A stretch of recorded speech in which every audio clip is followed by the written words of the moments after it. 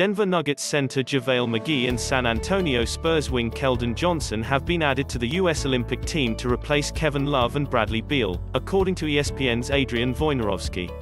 Love is returning from a right calf injury that forced him out of the competition. Beal is in Team USA's COVID-19 protocols. The 7-foot McGee provides a needed big man to a roster that previously included only the Miami Heat's Bam Adebayo at the center spot. He averaged 7, 3 points, 5, 2 rebounds and 1, 2 blocks this past season.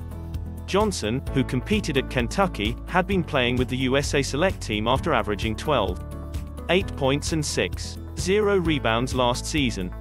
Knicks forward Julius Randle, Miami Heat guard Duncan Robinson and Philadelphia 76ers wing Tobias Harris had also been linked to the openings. The U remains without Devin Booker, Khris Middleton and Jrue Holiday, who are playing in the NBA Finals and are scheduled to join the team for the Olympics. Team USA plays its final exhibition Sunday against Spain, and opens Olympic play July 25 against France before playing Iran, July 28, and the Czech Republic, July 31.